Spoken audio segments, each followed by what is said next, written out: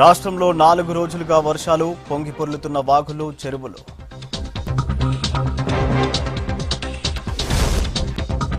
ప్రాజెక్టుల్లో పెరుగుతున్న నీటి మట్టం వ్యవసాయ పనుల్లో రైతులు బిజీ.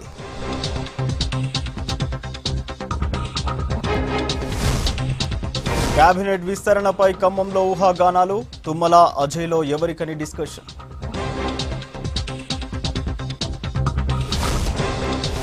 బోధన్ పట్టణంలో అన్ని సమస్యలే హామీలు నెరవేర్చని ప్రజాప్రతినిధులు.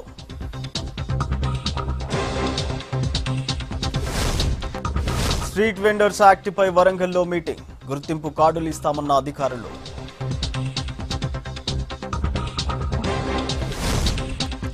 కాగజ్ నగర్లో గోరింటాకు వేడుకలు ఆషాఢంలో మంచిదంటున్న మహిళలు.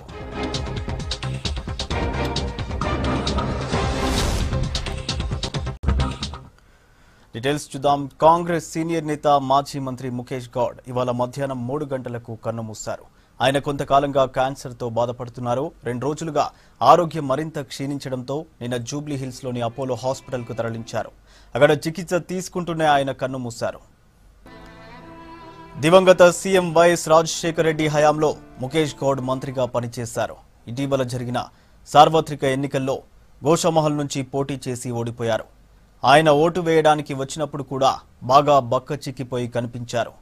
ఎన్నికల్లో ఓటమి తర్వాత రాజకీయాలకు దూరంగా ఉంటున్నారు ముఖేష్. ముఖేష్ గౌడ్ మృతిపై CM KCR PCC chief Uttam Kumar Reddy సంతాపం తెలిపారు. ముఖేష్ కుటుంబ సభ్యులను మాజీ ఎంపీ వివేక్ వెంకటస్వామి పరామర్శించారు. తన ప్రగాఢ సానుభూతి తెలిపారు. మాజీ మంత్రి ముఖేష్ గౌడ్ గారి మరణం పట్ల తెలంగాణ కాంగ్రెస్ పార్టీ తరఫు నుంచి వారి కుటుంబ సభ్యులకు మా ప్రగాఢ సానుభూతి సంతాపం తెలియజేస్తున్నాం. వారు సుదీర్ఘకాలం శాసనసభ్యునిగా మంత్రిగా ఉండే హైదరాబాద్ సిటీ అభివృద్ధికి కాంగ్రెస్ పార్టీ డెవలప్ కావడానికి చాలా కృషి చేశారు. వారి కుటుంబ సభ్యులకి తప్పనిసరిగా ఎప్పటికీ మా అండదండలు ఉంటాయని వారి కుటుంబ సభ్యులందరికీ సానుభూతి తెలియజేస్తూ మరి వారికి ఆత్మకు శాంతి కలగాలని భగవంతుని ప్రార్థిస్తాం కాంగ్రెస్ సీనియర్ నేత జైపాల్ రెడ్డి అంత్యక్రియలు ప్రభుత్వ లాంఛనాలతో నక్లెస్ రోడ్లో ముగిశాయి. కాంగ్రెస్ సీనియర్ నేతలతో పాటు రాష్ట్రానికి చెందిన పలువురు రాజకీయ ప్రముఖులు అంత్యక్రియలకు హాజరయ్యారు. కర్ణాటక మాజీ స్పీకర్ రమేష్ సదానంద గౌడ స్వయంగా జైపాల్ రెడ్డి పాడెమోశారు నాయకులు అభిమానుల అశ్రు నయనాల మధ్య జైపాల్ రెడ్డి అంతిమ సంస్కారాలు నిర్వహించారు.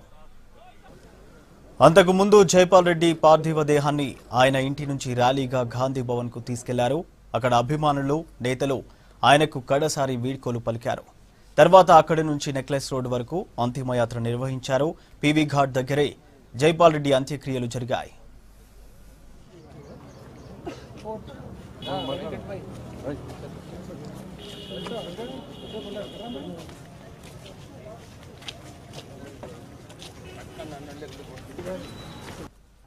Sri Jaypal Reddy and I personally have been associated for more than three decades.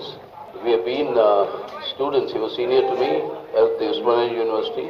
But since then, through the various uh, political developments in the country, we've had a very close relationship played during the formation from the time of the Janata government, through the United Front government, the VP Singh government, and then later with the UPA governments.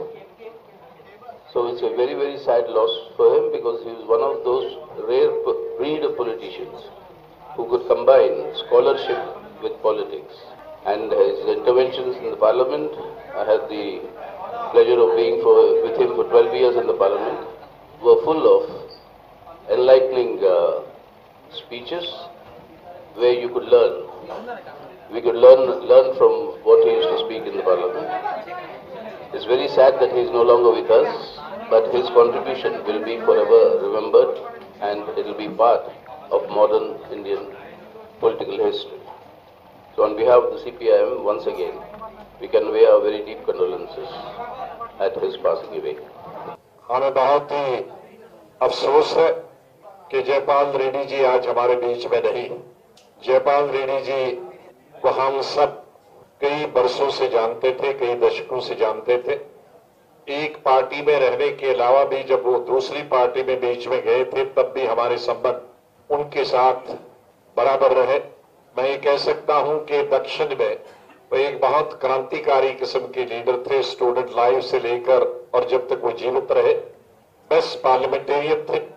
चाहे वो विधानसभा में रहे, लोकसभा में रहे, राज्यसभा में रहे उन्होंने विधानसभा के अंदर और विधानसभा के बाहर एक छाप बनाई, एक नाम बनाया। वो राज्यसभा में नहीं, इक्यानवे बयानवे में, उन्नीस सौ इक्यानवे बयानवे में विपक्ष के नेता रहे जब मैं पार्लियामेंट्री अफेयर्स मिनिस्टर रहा। और उस वक्त भी हमारे संबंध बहुत अच्छे रहे। और बेस्ट पार्लियामेंटेरियन और बेस्ट स्पीकर के लिए हम अल्लाह से यही दुआ करते हैं, भगवान से यही दुआ करते हैं। अल्लाह उनकी आत्मा को, खुदा उनकी आत्मा को शांति दे। हम सब अपनी पार्टी की तरफ़ से, अपनी व्यक्तिगत कैपेसिटी में भी आए हैं। हम सोनिया गांधी, राहुल गांधी उनकी तरफ़ से भी आए हैं। सभी सीनियर लीडर्स हैं। तीन जनरल सेक्रेटरीज हैं। पीसीसी प्रेसिडेंट साहब तो यही हैं। तीन व्यक्तिगत तौर पर भी हम उनको अपनी तरफ़ से श्रद्धांजलि अर्पित करते हैं। जयपाल रेड्डी साहब को मैं कांग्रेस के सभी नेता का बहुत ही आदर उनके प्रति था। तो ऐसा एक नेता को हमने आज खोया है। पार्टी को भी बहुत बड़ा इससे नुकसान हुआ है। और मैं आप सभी को याद दिलाना चाहता हूँ। इसलिए मैं कांग्रेस पार्टी की ओर से एआईसीसी की ओर से, खासकर मेरे वैयक्तिक तौर पर भी मैं उनको मेरी हार्दिक श्रद्धांजलि अर्पित करता हूँ और उनकी आत्मा को शांति मिले, खासकर उनके जो फैमिली के मेंबर्स हैं, उनके जो कुटुंब के सदस्य हैं, उनको बहुत बड़ा धक्का और दुख हुआ है। उस दुख को भरने का या उसको उनके जो दुख दर्द को भरने का एक भगवान उनको एक शांति दे और उनको बहुत सहन करने की शक्ति भी दे ऐसे मैं इस वक्त इतना कहता हूँ తెలంగాణ ప్రదేశ్ కాంగ్రెస్ కమిటీ నుంచి వారి కుటుంబ సభ్యులకి ప్రగాఢ సానుభూతి సంతాపం తెలియజేస్తూ Jaipal Reddy garu was one of the greatest sons of Telangana he did Telangana proud over fifty years in public life four five term Lok Sabha member two term Rajya Sabha member union minister in several cabinets he stood for the highest values in public life the Telangana people will remember him for his idealistic in principle politics for his belief in secularism and probity in public life రాష్ట్రంలో వర్షాలు జోరందుకున్నాయి. నాలుగు రోజులుగా ఎడతెరిపి లేకుండా కురుస్తుండటంతో వాగులు వంకలు పొంగాయి. వరద నీటితో కృష్ణమ్మ గోదారమ్మ జలకలను సంతరించుకున్నాయి. ఆనందంలో మునిగి తేలుతున్న రైతులు వ్యవసాయ పనుల్ని ప్రారంభించారు. అయితే వరదలతో కొన్ని చోట్ల రాకపోకలకు అంతరాయం కలిగి జనం ఇబ్బంది పడుతున్నారు. మరో రెండు రోజుల పాటు వర్షాలు కురుస్తాయని తెలిపింది వాతావరణ శాఖ.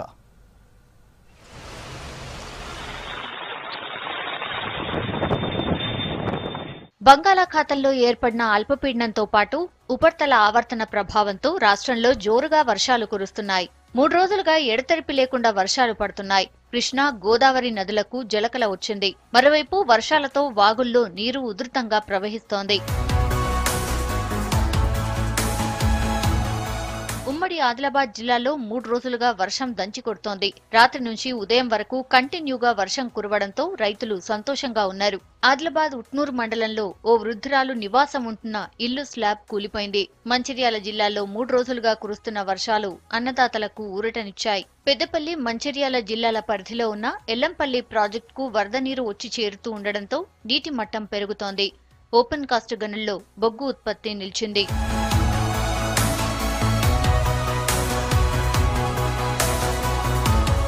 ఉమ్మడి నిజామాబాద్ జిల్లాలో గత మూడు రోజులుగా విస్తారంగా వర్షాలు కురుస్తున్నాయి. దీంతో రైతులు ఆనందం వ్యక్తం చేస్తున్నారు. మూడు రోజులుగా ఎడతెరిపి లేకుండా వాన పడుతూ ఉండడంతో వాతావరణం పూర్తిగా చల్లబడింది. అటు వ్యవసాయ పనులు కూడా పూర్తి స్థాయిలో చేపట్టారు రైతులు. వరి నాట్లు ఊపందుకున్నాయి. ఇప్పుడు కురుస్తున్న వర్షంతో మరో ఇరవై రోజుల వరకు పంటలకు ఇబ్బంది లేదంటున్నారు రైతులు. ఉమ్మడి మెదక్ జిల్లాలో నాలుగు రోజులుగా పడుతున్న వానలతో అన్నదాతలు సంతోషంగా ఉన్నారు. రెండు నెలలుగా సరైన వర్షాలు లేక పంటలు ఎండిపోయాయని ఇప్పుడు కురుస్తున్న వానలతో పంటలకు జీవం వచ్చిందంటున్నారు. ఇప్పటి వరకు దాదాపు యాభై శాతం వరకు లోటు వర్షపాతం నమోదైందని అధికారులు చెబుతున్నారు అటు ఉమ్మడి కరీంనగర్ జిల్లాలోనూ భారీ వర్షాలు కురుస్తున్నాయి. మహబూబ్నగర్ జిల్లాలో కృష్ణమ్మ పరవళ్ళు తొక్కుతోంది. మహారాష్ట్ర కర్ణాటకల్లో కురుస్తున్న వర్షాలకు భారీగా వరద నీరు చేరింది. ఎగువన ఉన్న నారాయణపూర్ ప్రాజెక్టు నుంచి పద్దెనిమిది గేట్ల ద్వారా లక్ష రెండు వేల క్యూసెక్కుల నీటిని విడుదల చేశారు. దీంతో వరద నీరు జూరాల ప్రాజెక్టు వైపు పరవళ్ళు పెడుతోంది. ప్రస్తుతం ప్రాజెక్టులో దాదాపు రెండు టీఎంసీల నీరు చేరింది. మరో మూడు టీఎంసీలు చేరితే దిగువన ఉన్న శ్రీశైలంతో పాటు ఎట్టిపోతల ప్రాజెక్టులకు నీటిని విడుదల చేస్తామన్నారు అధికారులు. అటు రైతులకు కూడా కాల్వల ద్వారా నీరందనుంది. ఒక నెల తర్వాత రైతులందరూ వేచి ఉన్నప్పుడు ఈ సమయంలో నారాయణపూర్ డ్యామ్ యొక్క గేట్లు పద్దెనిమిది గేట్లు తెరిచినందుకు లక్ష ఐదు వేల క్యూసెక్లు జూరాల డ్యామ్కి వచ్చి చేరుతున్నవి. మన మాకందరికీ చాలా సంతోషంగా ఉంది.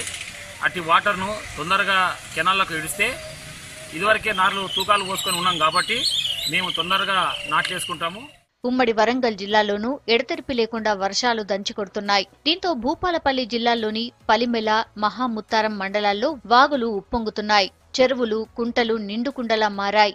పలిమెల మండలానికి చుట్టుపక్కల ఉన్న వాగుల్లోకి వరద నీరు చేరడంతో పదకొండు గ్రామాలు జల దిగ్బంధంలో ఉన్నాయి. మహాముత్తరం మండలంలోని పెదవాగు పొంగడంతో రాకపోకలు నిలిచిపోయాయి. దీంతో జనం ఇబ్బందులు పడుతున్నారు. అటు భూపాలపల్లి జిల్లా ఓపెన్ కాస్ట్ గనుల్లోకి నీరు చేరి పన్నెండు వేల టన్నుల బొగ్గు ఉత్పత్తికి ఆటంకం కలిగింది. ములుగు జిల్లాలో భారీ వర్షం కురుస్తూ ఉండడంతో మేడారం దగ్గర ఉన్న జంపన్న వాగు పొంగి పొర్లుతోంది.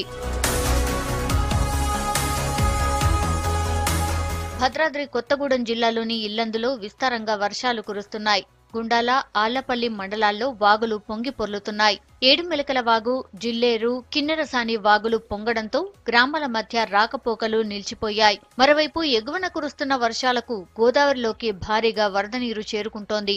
తాలిపేరు దగ్గర ఇన్ఫ్లో పెరగడంతో నాలుగు గేట్లు తెరిచారు. దీంతో గోదావరి నీటి మట్టం ఇరవై రెండు అడుగులు దాటింది. జిల్లాలో వర్షాలు కొనసాగుతూ ఉండడంతో నీటి మట్టం మరింత పెరిగే అవకాశాలు ఉన్నాయి. నాలుగు రోజులుగా వానలు పడ్డంతో ఓపెన్ కాస్ట్ బొగ్గు గనుల్లోకి వరద నీరు చేరింది. దీంతో లక్షా నలభై వేల టన్నుల బొగ్గు ఉత్పత్తికి అంతరాయం కలిగింది. ఉత్పత్తి నిలిచిపోవడంతో కార్మికుల వేతనాల రూపంలో దాదాపు ఇరవై కోట్ల రూపాయలు నష్టపోయినట్టు అధికారులు తెలిపారు. మోటార్ల సాయంతో వరద నీటిని బయటకు తరలిస్తున్నారు సిబ్బంది.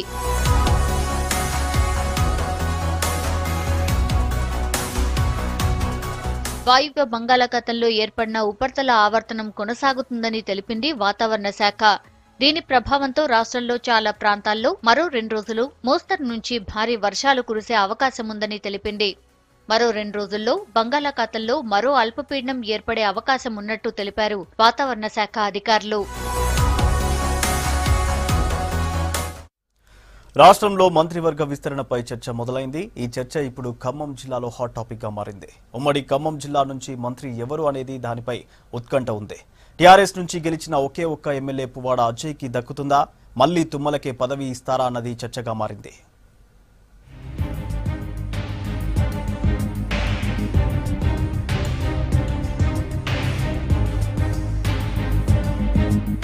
ఉమ్మడి ఖమ్మం జిల్లాలో పది నియోజకవర్గాలుంటే రెండు వేల పద్దెనిమిదిలో జరిగిన అసెంబ్లీ ఎన్నికల్లో ఖమ్మం తప్ప ఏ ఒక్క నియోజకవర్గంలోనూ టీఆర్ఎస్ గెలవలేదు. అయితే ఆ తర్వాత అశ్వారావుపేట మధిర తప్ప మిగతా ఎమ్మెల్యేలంతా టీఆర్ఎస్లో జాయిన్ అయ్యారు. మాజీ మంత్రి తుమ్మల నాగేశ్వరరావు కూడా పాలేరు నుంచి ఓడిపోయారు.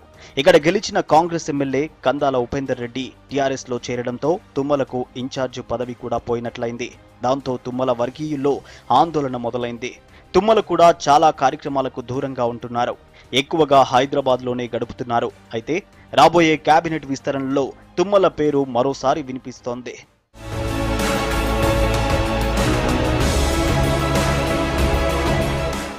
జిల్లాలో టీఆర్ఎస్ నుంచి గెలుపొందిన ఏకైక ఎమ్మెల్యే పువ్వాడ జయకుమార్. మొన్నటి ఎన్నికల్లో ఖమ్మం జిల్లాలో మొదటగా మహాకూటమి గెలుపొందే సీటు ఖమ్మం అనుకున్నారు. ఇక్కడ చంద్రబాబు రాహుల్ గాంధీ లాంటి పెద్ద నేతలు వచ్చి ప్రచారం చేశారు. మహాకూటమితో పాటు కాంగ్రెస్ ఓటు బ్యాంకు కూడా కలిస్తే నామా నాగేశ్వరరావు గెలవడం ఖాయమనుకున్నారు కానీ టీఆర్ఎస్కు ఏమాత్రం బలం లేకున్నా ఖమ్మం నుంచి నామా లాంటి సీనియర్ని ఓడించి పువ్వాడ అజయ్ కుమార్ దాదాపు పదివేలకు పైగా మెజారిటీతో గెలిచారు. తరువాత జరిగిన పరిణామాల్లో నామా నాగేశ్వరరావు టీఆర్ఎస్లో చేరి ఎంపీ సీటుకి భారీ మెజారిటీతో ఎన్నికయ్యారు. తన గెలుపునకు అజయ్ పూర్తిగా సహకరించారని నామానే స్వయంగా టీఆర్ఎస్ అధిష్టానానికి తెలిపారు. ఇంతగా పార్టీని ప్రజల్లోకి తీసుకెళ్ళిన వ్యక్తి అజయ్కి మంత్రి పదవి వస్తుందని భావించారు. కానీ ఇప్పుడు తుమ్మల పేరు వినిపిస్తుండటంతో ఆయన వర్గీయులు నిరాశగా ఉన్నారు. ఓడిన వారికే మళ్ళీ మంత్రి పదవి ఇస్తే గెలిచిన వారి పరిస్థితి ఏంటని ప్రశ్నిస్తున్నారు. రాష్ట్రంలో ఎన్నికల కౌంటింగ్ తర్వాత నిర్వహించిన ప్రెస్ మీట్లో కూడా ఈసారి ఓడిన వాళ్ళని కేబినెట్లోకి తీసుకోబోమని కూడా సీఎం కేసీఆర్ చెప్పారు.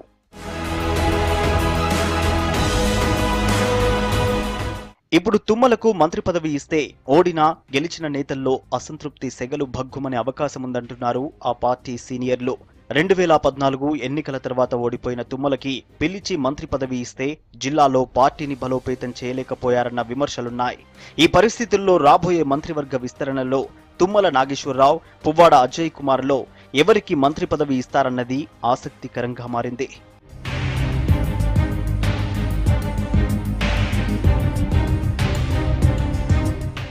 స్ట్రీట్ వెండర్స్ యాక్ట్ను సక్రమంగా అమలు చేయాలన్నారు కేంద్ర పట్టణాభివృద్ధి శాఖ జాయింట్ సెక్రటరీ సంజయ్. హన్మకొండలో జరిగిన సమీక్ష సమావేశంలో పాల్గొన్నారు ఆయన. స్ట్రీట్ వెండర్స్కు లైసెన్స్ షెల్టర్తో పాటు ఉపాధి అందేలా చూడాలని అధికారులకు సూచించారు. నగరంలోని ఇరవై ఒక్క ప్రాంతాల్లో స్ట్రీట్ వెండర్స్ కోసం రెండు వేల పదిహేను షెడ్స్ ఏర్పాటు చేశామన్నారు స్థానిక నేతలు.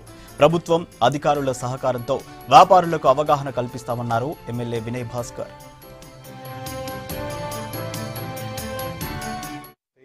యాక్ట్ చట్టం ఎట్లా ఇంప్లిమెంట్ చేస్తున్నారు? కొన్ని విషయాలు దృష్టికి వచ్చినాయి. దాన్ని దృష్టిలో పెట్టుకొని ప్రతి స్టేట్లో టూ సిటీస్ని మోడల్ యుఎల్బి లాగా తయారు చేయడానికి ఒక నిర్ణయం చేయడం జరిగింది. So government of Telangana street vendor act గురించి వరంగల్ అండ్ సిద్దిపేట్ ఈ రెండు సిటీస్ని ఇది గుర్తింపు చే- చేసింది. ఆల్ సిటీ ఒక నేషనల్ కాంపిటీషన్ లాగా పెడతాం. మార్చ్ నెలలో. సో అందులో టాప్ త్రీ టాప్ ఫైవ్లో వచ్చిన సిటీస్కి క్యాష్ అవార్డు కూడా ఇవ్వడం జరుగుతుంది. దేశవ్యాప్తంగా నగరాలలో కూడా ఒక కాంపిటీషన్ కూడా ఏర్పాటు చేస్తామని చెప్పడం జరిగింది.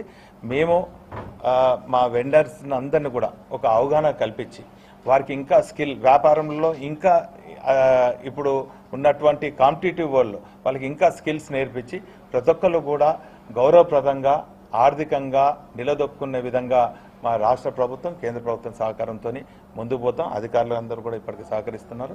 మరి రాబోయే కాంపిటీషన్లో మేము మా వెండర్స్ అందరినీ కూడా చైతన్యంతపరిచి ప్రైజ్ తీసుకునే విధంగా మేము వారిని తీర్చి నిజాం షుగర్ ఫ్యాక్టరీ బాగా నడుస్తున్న రోజుల్లో ఓ వెలుగు వెలిగిన బోధన్ పట్టణంలో ఇప్పుడు అన్ని సమస్యలే. ఓవైపు కార్మికుల కష్టాలు మరోపక్క మౌలిక వసతులు లేక సామాన్యుల తిప్పలు పడుతున్నారు. ముస్లిం మైనారిటీలు సెటిలర్లు దళితులు ఎక్కువగా ఉన్న బోధనలో సమస్యలు ప్రజాప్రతినిధులను వెక్కిరిస్తున్నాయి. బోధన్ పట్టణం పేరు చెప్పగానే టక్కున గుర్తొచ్చేది నిజాం షుగర్ ఫ్యాక్టరీ. ఇప్పుడు ఆ ఫ్యాక్టరీ మూతపట్టంతో కార్మికులు రోడ్డున పడ్డారు. ఫ్యాక్టరీలో పనిచేసే కార్మికులు ఉద్యోగుల కోసం శక్కర్ నగర్ కాలనీ వెలసింది. ఈ ఒక్క కాలనీలోనే సుమారు ఏడు వార్డులున్నాయి. అయితే కార్మికులకు ఫ్యాక్టరీ కష్టాలే కాదు మౌలిక వసతులు కూడా సరిగా లేవు. మురికి కాలువలు మంచినీటి కష్టాలు ఇళ్ళ సమస్య తీవ్రంగా ఉంది.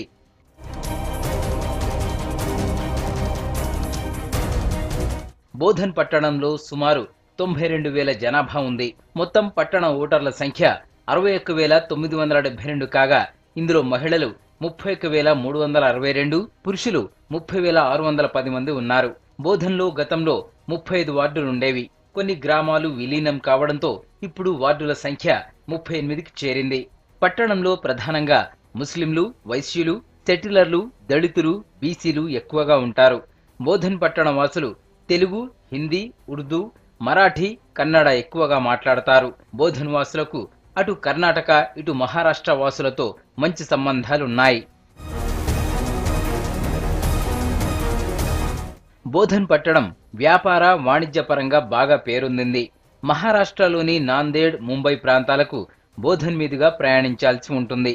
దీంతో ఇది మంచి బిజినెస్ సెంటర్గా మారింది. మహారాష్ట్ర సరిహద్దు గ్రామాల ప్రజలు వారి వ్యవసాయ ఉత్పత్తులను ఇక్కడే విక్రయిస్తారు. బోధన్ పట్టణం విద్యా సంస్థలకు ఫేమస్. మహారాష్ట్ర వాసులు కూడా తమ పిల్లలను ఇక్కడి స్కూళ్ళలోనే చదివిస్తారు.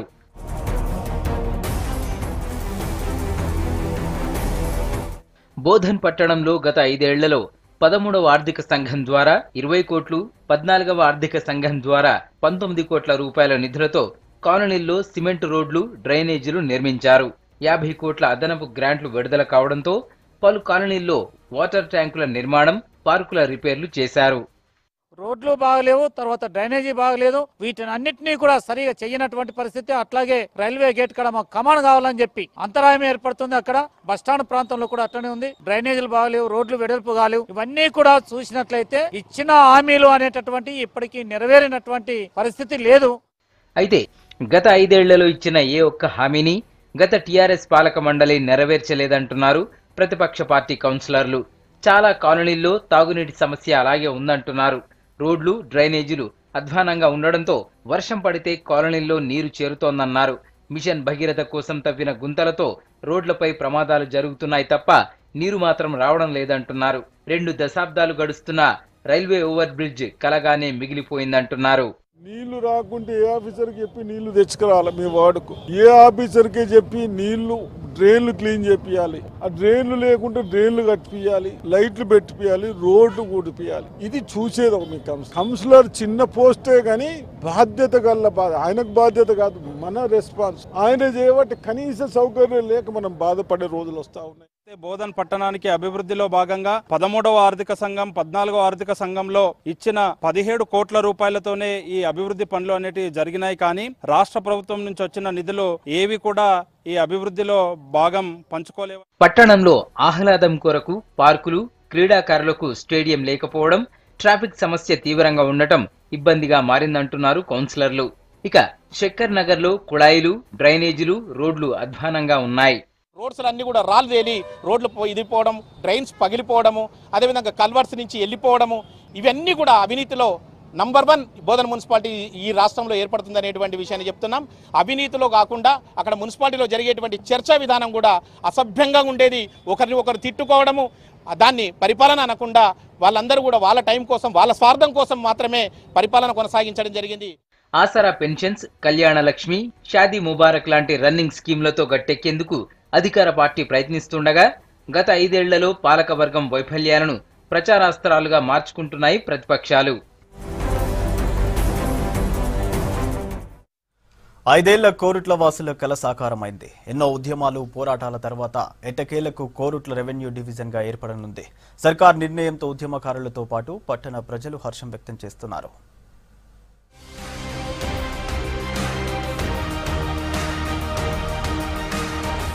కోరుట్ల వాసుల ఐదేళ్ళ పోరాటానికి ఫలితంగా కోరుట్ల రెవెన్యూ డివిజన్ ఏర్పడింది. ఇందుకు సంబంధించి ప్రభుత్వం ఆదేశాలు జారీ చేయడంతో కోరుట్ల వాసులు హర్షం వ్యక్తం చేస్తున్నారు. మూడున్నరేళ్ళ కిందట కోరుట్లను జిల్లాగా ప్రకటించాలంటూ నవంబర్ రెండు వేల పదిహేనులో మొదటి ఉద్యమం ప్రారంభమైంది. జగిత్యాలను జిల్లా చేయడంతో రెవెన్యూ డివిజన్ ఏర్పాటు కోసం యువజన వ్యాపార ప్రజా సంఘాలు పార్టీలు ఉద్యమించాయి.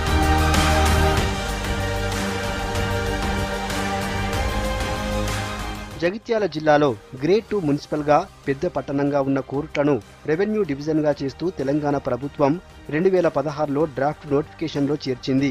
అయితే రాత్రికి రాత్రి కోరుట్లను కాదని మెట్పల్లిని డివిజన్గా ఏర్పాటు చేయడంతో కోరుట్ల ప్రజలు అనేక ఆందోళనలు చేశారు. పట్టణంలో నిరాహార దీక్షలు వంట వార్పు మానవహారాలు ఆత్మహత్యా యత్నాలు జరగటంతో ఉద్యమం మరింత ఉధృతమైంది. దీంతో ఓ దశలో కోరుట్లకు రావాలంటేనే ప్రజాప్రతినిధులు భయపడే పరిస్థితులు ఏర్పడ్డాయి. నిరసనకారులను చెదరగొట్టడానికి పోలీసులు లాఠీ చార్జీలు అరెస్టులు చేశారు.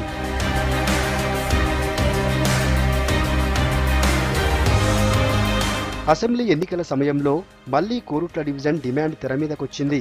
కోరుట్ల నియోజకవర్గంలో కోరుట్ల పట్టణ ఓటర్లు కీలకం కావడంతో వ్యూహాత్మకంగా వ్యవహరించిన ఎమ్మెల్యే కల్వకుంట్ల విద్యాసాగర్ రావు డివిజన్ సాధనకు మాజీ ఎంపీ కవిత సహకారం తీసుకున్నారు. ఎన్నికలకు వారం రోజుల ముందు జగిత్యాలలో జరిగిన ప్రజా ఆశీర్వాద సభలో కోరుట్ల రెవెన్యూ డివిజన్ ఏర్పాటు చేస్తామని హామీ ఇచ్చారు సీఎం. ఆ తర్వాత కేటీఆర్ కూడా టీఆర్ఎస్ అధికారంలోకి రాగానే రెవెన్యూ డివిజన్ ఏర్పాటు చేస్తామని ప్రకటించారు.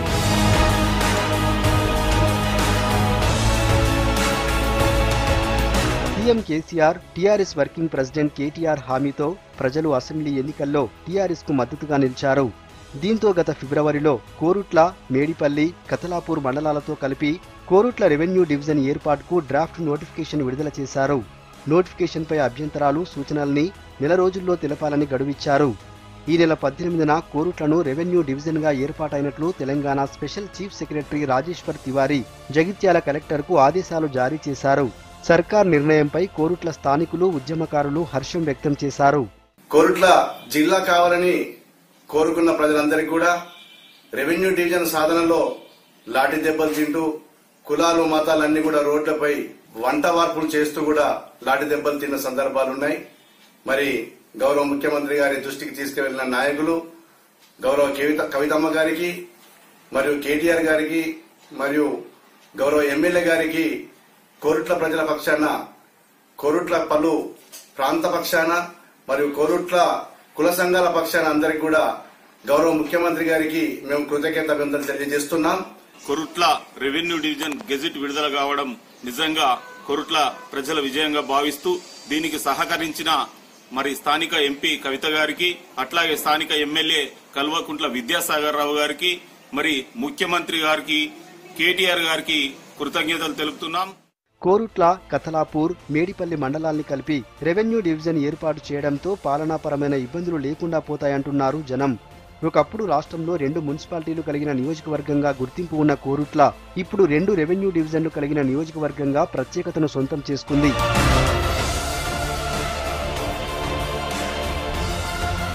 అరుదైన కళతో నారాయణపేట జిల్లా విద్యార్థులు ఆకట్టుకుంటున్నారు. ఓ ఉపాధ్యాయుడి దగ్గర నేర్చుకున్న నేత్రావధానం అంగుష్టావధానంలో పట్టు సాధించారు. మాటలకు అందని భావాలను కళ్ళతో పలికిస్తూ చేతి వేళ్ళతో మాట్లాడుతూ ప్రశంసలు అందుకుంటున్నారు.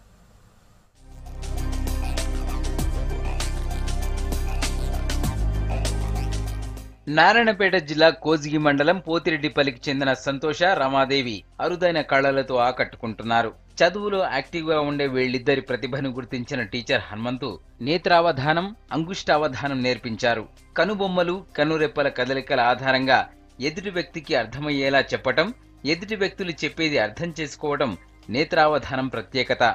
తమ టీచర్ హన్మంతు ద్వారా నేర్చుకున్న ఈ నేత్రావధానంపై ఇద్దరు విద్యార్థులు పట్టు సాధించారు.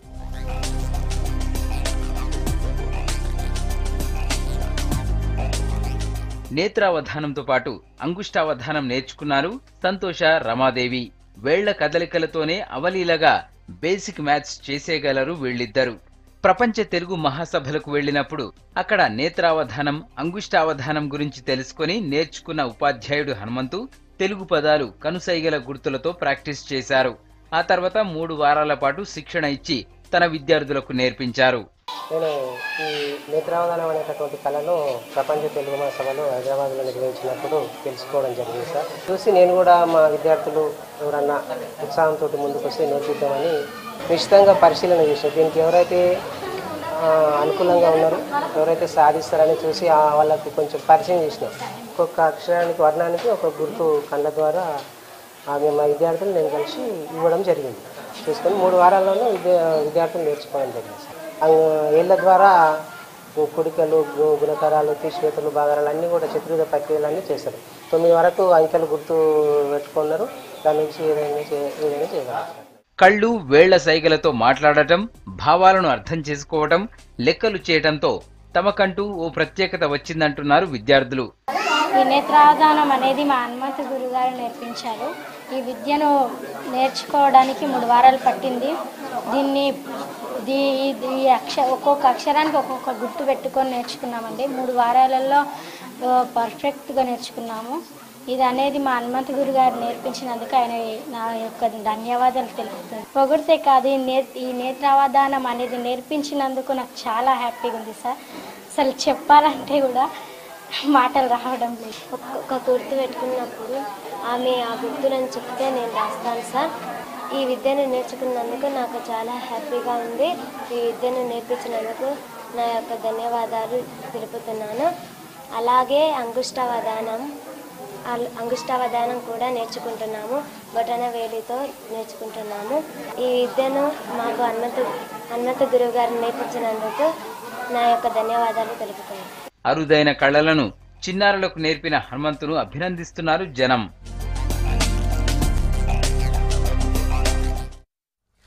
స్టీల్ ఇత్తడి రాగి మట్టి పాత్రల్లోనే టీ తయారు చేయడం చూసాం కానీ ఆదిలాబాద్ జిల్లాలో వ్యక్తి పేపర్లో టీని తయారు చేసి అందరినీ ఆశ్చర్యపరుస్తున్నారు. ఆయన చేసే పేపర్ టీకి క్రేజ్ అంతా ఇంత కాదు. ఆదిలాబాద్ జిల్లా చాందా విలేజ్లో ప్రాచుర్యం పొందిన paper tea తయారీపై V six special story.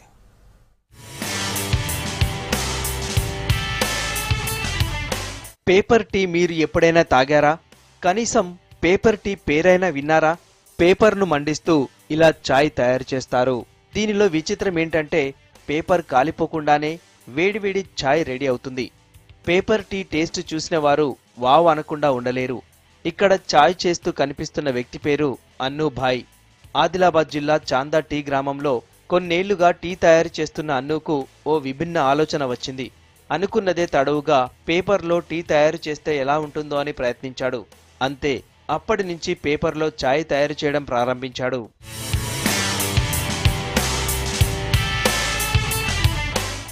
పేపర్ను చిన్న పాత్రగా చేస్తాడు. పేపర్ గిన్నె వంగిపోకుండా మోతుకు వేప పుల్లలతో దాన్ని అల్లుతాడు.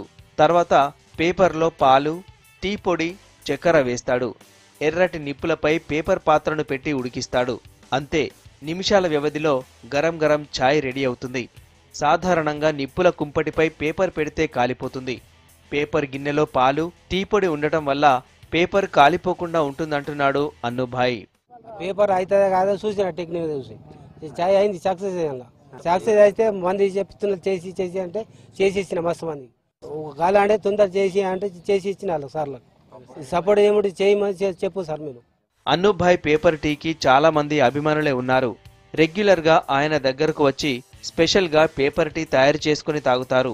పేపర్ టీ బాగుంటుందంటున్నారు స్థానికులు. మాది చాందా టీ. ఇక్కడ అన్ను అని ఒక ఆయన హోటల్లో ఛాయ్ చేస్తాడన్న. గంజు ఖరాబ్ ఉన్నదాన్ని మేము ఆంధ్ర అనుకుంటే ఎప్పుడైనా పేపర్లు కూడా చేసి ఇస్తాడు న్యూస్ పేపర్లలో ఇలా ఛాయ్ చేసి ఇస్తాడు బాగా టెస్ట్ వస్తుంది. ఆంధ్ర మూలంలో ఎక్కువ శాతం కావాలని పేపర్లు చేసుకొని టీ తాగుతాం. చాలా మంచిగా ఉంటుంది. ఆయన ఒక్కడే చేస్తాడు ఇక్కడ ఛానల్లో పేపర్లో టీ. ఒక పది ఇరవై సంవత్సరాల నుంచి చేస్తున్నాడు. ఏమంటే ఆయన ఇరవై ఇరవై ఐదు సంవత్సరాల నుంచి ఛాయ్ అమ్ముతున్నాడు. ఒక సంవత్సరం ఆయా సంవత్సరం నుంచి ఆయన మామూలుగా పేపర్లో ఛాయ్ చేసి పోస్తున్నాడు. మామూలుగా ఇంకెవరికన్నా కావాలా అంటే ఆయన తెచ్చి పోస్తున్నాడు ఛాయ్. ఒక రెండు కప్పులు వెళ్తాయి. దాంట్లో వేస్తే ఒక రెండు కప్పులు వెళ్తున్నాయి. అందరూ అలాగనే చేయమంటున్నారు. తన పేపర్ టీకి ప్రపంచవ్యాప్తంగా గుర్తింపు రావాలంటున్నాడు అన్నుభాయ్. అందుకోసం మరింత శ్రమిస్తానని చెప్తున్నాడు. త్వరలో కార్పొరేషన్ చైర్మన్ల పదవీ కాలం ముగియనుండడంతో టీఆర్ఎస్ నేతల లాబింగ్లు మొదలయ్యాయి. ముఖ్య నేతలను కలిసే అవకాశం కోసం అర్జీలు పెట్టుకుంటున్నారు గులాబీ నేతలు. ఈసారైనా పూర్తి స్థాయిలో పోస్టులను భర్తీ చేయాలని కోరుతున్నారు. మరోవైపు ప్రస్తుతం చైర్మన్లుగా ఉన్న నేతలు పదవీ కాలం పొడిగింపు కోసం ప్రయత్నాలు చేస్తున్నారు.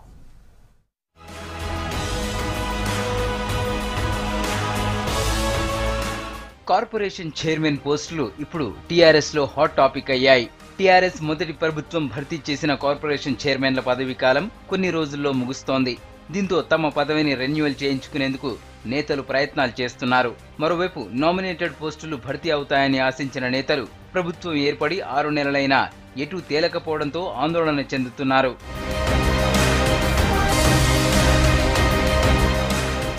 రాష్ట్రంలో మొత్తం డెబ్బై ఎనిమిది కార్పొరేషన్లున్నాయి. వీటితో పాటు జిల్లా స్థాయి లైబ్రరీ చైర్మన్లు డైరెక్టరేట్ల పోస్టులు ఉన్నాయి.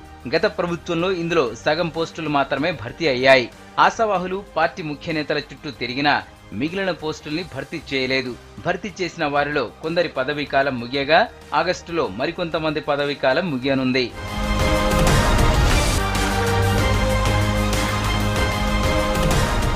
అయితే ఇప్పటి వరకు ముగ్గురు కార్పొరేషన్ చైర్మన్ల పదవీ కాలం మరో ఏడాది పొడిగించారు. ఎంబీసీ చైర్మన్ తాడూరి శ్రీనివాస్ వైద్య ఆరోగ్య మౌలిక సదుపాయాల కార్పొరేషన్ సంస్థ chairman Krishnamurthy police housing chairman Damodar గుప్తాకు ఒక ఏడాది రెన్యువల్ చేసేందుకు హామీ ఇచ్చినట్లు తెలుస్తోంది. మిగతా చైర్మన్ల పదవీ కాలం రెన్యువల్ పై హామీ రాకపోవడంతో వాళ్ళంతా ముఖ్య నేతలతో లాబింగ్ మొదలు పెట్టారు. తమకు మరోసారి అవకాశం ఇవ్వాలని కోరుతున్నారు. అయితే ప్రస్తుత చైర్మన్లకు రెన్యువల్ ఉండదని తెలుస్తోంది.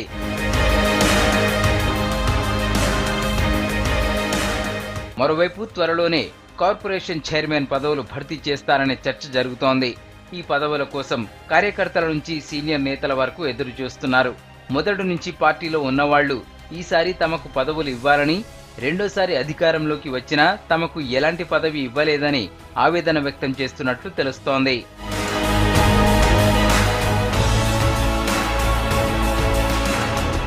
ఇతర పార్టీల నుంచి వచ్చిన మాజీ ఎమ్మెల్యేలు ఇతర నేతలు కూడా తమకు నామినేటెడ్ పోస్టులు ఇవ్వాలని ముఖ్య నేతల దృష్టికి తీసుకెళ్తున్నారు.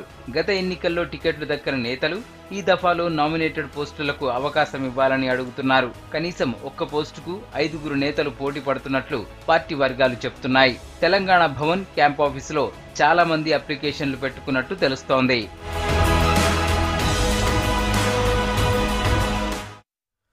ఉమ్మడి నల్గొండ జిల్లాలో రోజురోజుకు క్రైమ్ రేట్ పెరిగిపోతోంది. వివాహేతర సంబంధం కోసం కట్టుకున్న వాళ్ళను కడతీరుస్తున్నారు కన్న వాళ్ళను వదిలేస్తున్నారు. జిల్లాలో వరుసగా జరిగిన సంఘటనలతో అటు పోలీసులు ఇటు జనం ఆందోళన చెందుతున్నారు. ఉమ్మడి నల్గొండ జిల్లాలో రోజు రోజుకి పెరుగుతున్న క్రైమ్ పై స్పెషల్ స్టోరీ.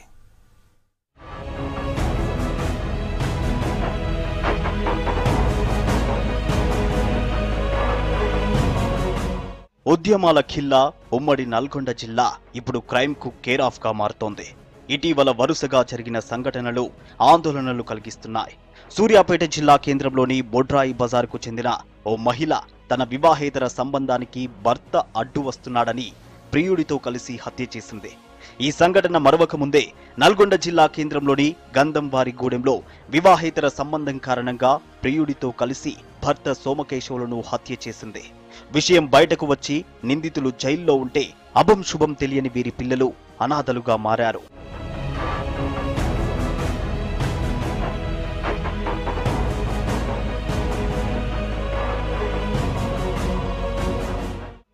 అంతేకాదు ఇటీవల శాలిఘౌరారం మండలం చిత్తలూరులో అర్ధరాత్రి జరిగిన గుండెబోయిన మల్లేష్ హత్య కూడా వివాహేతర సంబంధం వల్లే జరిగిందని మృతుడి బంధువులు ఆరోపిస్తున్నారు.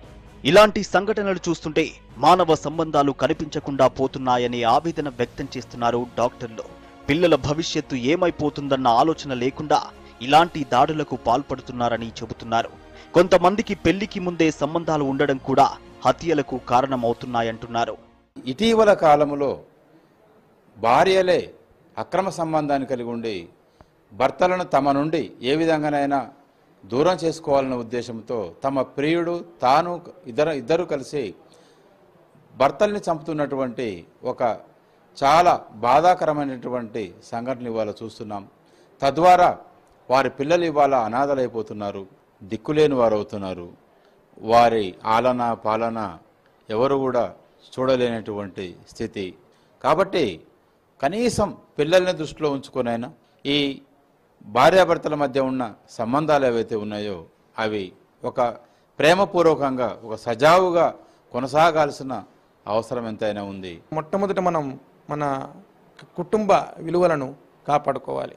ప్రపంచం అంతా కూడా మన వైపు కుటుంబ విలువల కోసం చూస్తున్న తరుణంలో మనం పాశ్చాత్య పోకడలతో మన కుటుంబాన్ని విచ్ఛిన్నం చేసుకోవటం కుటుంబాల్లో ఉండేటువంటి విలువలని తగ్గించుకొనటం ఏమాత్రం సబబు కాదు. నేను అనే భావనతోనే ఈ దారుణాలు జరుగుతున్నాయంటున్నారు మానసిక వైద్యులు. ఆధునిక పోకడలతో మనమనే భావన కంటే నేను నాది అనే భావన ఎక్కువైందంటున్నారు. సొంత ఆనందం స్వార్థం కోసం కుటుంబాన్ని పట్టించుకోవడం లేదంటున్నారు. భార్య అక్రమ సంబంధంతో భర్త అడ్డుగా ఉన్నాడని చెప్పి భర్తని చంపడం కూడా జరుగుతుంది. ఈ క్షణికావేశంలో చేస్తున్న పిల్లలు అనాథలుగా మిగిలిపోతున్నారు. భార్యను భర్త భర్తను వారిని చంపడం వలన పిల్లలైతే వాళ్ళకి దిక్కు తోచుగా వాళ్ళు అనాథలైపోయి వాళ్ళు కూడా వాళ్ళు కూడా మానసిక సమస్యలతోటి బాధపడి బాధపడటం కూడా జరుగుతుంది. సమాజంలో ఇలాంటి పనులు చేస్తూ స్త్రీ యొక్క విలువనే దిగజారుస్తున్నారు వీళ్ళంతా కూడా.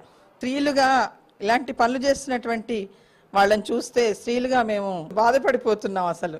కాబట్టి పరిణతి చెందండి. ఇలా భర్త కుటుంబ వ్యవస్థకు విలువనివ్వండి. పిల్లలకు అన్యాయం చేయకండి.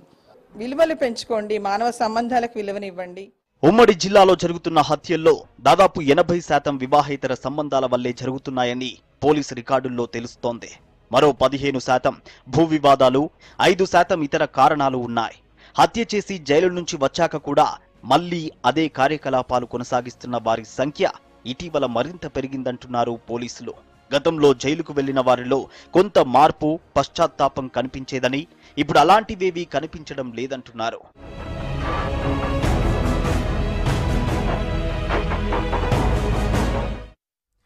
కొమరంభీం జిల్లా కాగజ్ నగర్ మహిళలు గోరింటాకు సంబరాలు చేసుకున్నారు. ఆషాఢ మాసం సందర్భంగా రెండు వందల మంది మహిళలు ఈ సంబరాల్లో పాల్గొన్నారు. ఆషాఢ మాసంలో గోరింటాకు పెట్టుకుంటే మంచి జరుగుతుందని నమ్మకం. పెళ్ళి కాని వారికి మంచి భర్త వస్తాడని చెప్తున్నారు మహిళలు.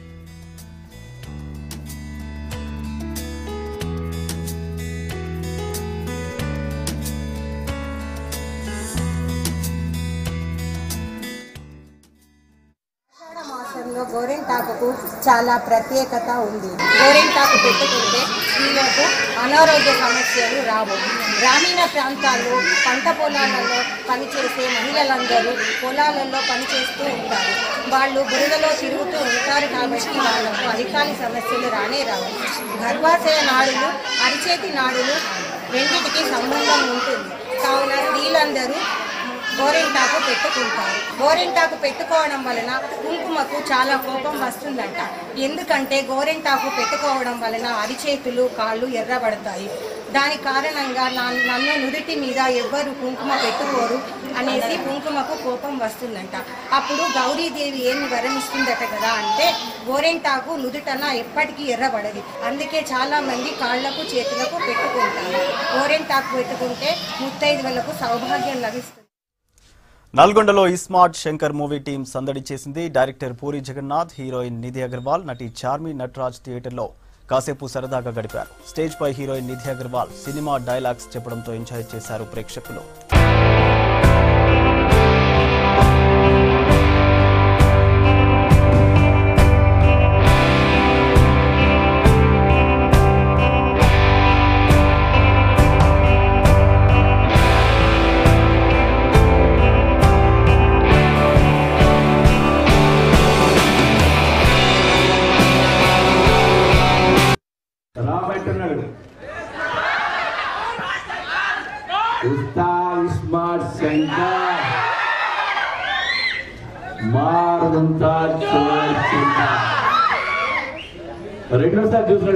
సినిమా.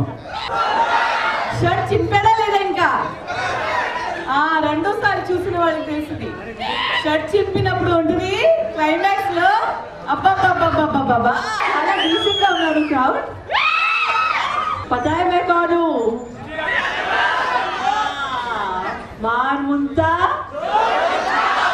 మామా జ్ఞాన్ మత్ మాకి కిరికిరి అయింది? దిమాగ్ ఖరాబ్ అయింది? ఓకే క్లైమాక్స్ ఎంజాయ్ చేస్తాను కదా. ఓకే సినిమా మళ్ళీ మళ్ళీ చూడాలి లేకపోతే మా ఇంట్లో సిమ్ కార్డ్ పెడతాను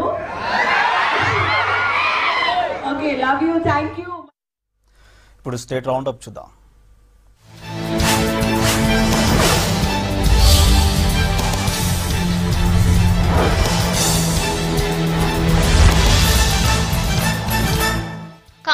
జిల్లా కేంద్రంలో వివిధ అభివృద్ధి కార్యక్రమాలకు శంకుస్థాపన చేశారు ఎమ్మెల్యే గంప గోవర్ధన్ రెడ్డి. ముప్పై రెండవ వార్డుల్లో కొత్తగా నిర్మించే సీసీ రోడ్లు పైప్లైన్ పనులను ప్రారంభించారు. బిగ్నూర్ మండలంలోని జంగంపల్లిలో నిర్మించే ప్రాథమిక వ్యవసాయ పరపతి సంఘ భవన నిర్మాణ పనులకు భూమి పూజ చేశారు ఎమ్మెల్యే. నాగర్ కర్నూలు జిల్లాకు చెందిన గణేష్ అనే యువకుడు సొంతంగా బ్యాటరీ బైక్ తయారు చేసుకున్నాడు. ఇంటర్నెట్ సెంటర్ను నడిపిస్తున్న గణేష్ తన పాత బైక్కు డెబ్బై ఐదు వాట్స్ బ్యాటరీ అమర్చాడు. రెండు గంటలు ఛార్జింగ్ పెడితే దాదాపు యాభై కిలోమీటర్లు వెళ్తుంది అంటున్నాడు గణేష్. బైక్ తయారీకి డెబ్బై వేల ఖర్చయినట్టు తెలిపాడు. నారాయణపేట జిల్లా కోస్కి మండలంలోని నాచారం దగ్గర వంతెన పరిస్థితి అధ్వానంగా తయారైంది. వర్షాలకు బ్రిడ్జిపై రోడ్డంతా గుంతలు ఏర్పడి ఇనుప చువ్వలు తేలాయి. నిర్మించిన మూడేళ్ళకే వంతెన గుంతలమయం కావడంతో వాహనదారులు మండిపడుతున్నారు. నాసిరకంగా నిర్మించారని ఆగ్రహం వ్యక్తం చేస్తున్నారు. నల్గొండ జిల్లా చందంపేట మండలంలో ఎలుగుబంటి దాడిలో ఇద్దరు గాయపడ్డారు.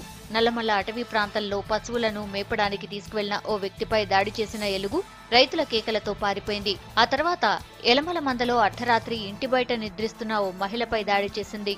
వరుసగా ఇద్దరిపై దాడులు చేయడంతో చుట్టుపక్కల గ్రామాల జనం భయపడుతున్నారు. కొమరం భీం జిల్లాలో సిరిపూర్ పేపర్ మిల్ యాజమాన్యం లారీ అసోసియేషన్ మధ్య వివాదం సద్దుమణిగింది. కాగజ్ నగర్లో కొన్ని రోజులుగా తమ అసోసియేషన్ లారీలకే లోడ్ ఇవ్వాలని లారీ యజమానులు డ్రైవర్లు ఆందోళన చేస్తున్నారు. దీంతో యాజమాన్యం లారీ అసోసియేషన్ సభ్యుల మధ్య ఎమ్మెల్యే కోనేరు కొన్నప్ప డీఎస్పీ సుజీంద్ర చర్చలు జరిపారు. స్థానిక లారీలకు ప్రయారిటీ లోడ్స్ ఇచ్చిన తర్వాత ఇతరులకు అవకాశం ఇస్తామని చెప్పడంతో గొడవలు సద్దుమణిగాయి. సిద్దిపేట జిల్లా దుబ్బాక మండలంలో పోలీసులు కార్డన్ సెర్చ్ నిర్వహించారు. కాలనీలో తనిఖీలు చేశారు. సరైన పత్రాలు లేని ఇరవై మూడు బైక్లు మూడు కార్లు సీజ్ చేశారు. అపరిచితులతో జాగ్రత్తగా ఉండాలన్న పోలీసులు ఎవరైనా అనుమానంగా కనిపిస్తే సమాచారం ఇవ్వాలన్నారు. భారీ వర్షాలతో యాదాద్రి భువనగిరి జిల్లా చిన్న కొండూరు దగ్గరలోని పిల్లాయిపల్లి కాల్వకు గండిపడింది ఇది తెలుసుకున్న ఎమ్మెల్యే చిరుమర్తి లింగయ్య స్థానిక రైతులతో కలిసి గండిని పూడిపించారు. ఆ తర్వాత కాల్వ పనులను పరిశీలించారు ఎమ్మెల్యే. త్వరలో పిల్లాయిపల్లి కాలువతో చెరువులు కుంటలు నింపుతామని తెలిపారు ఎమ్మెల్యే.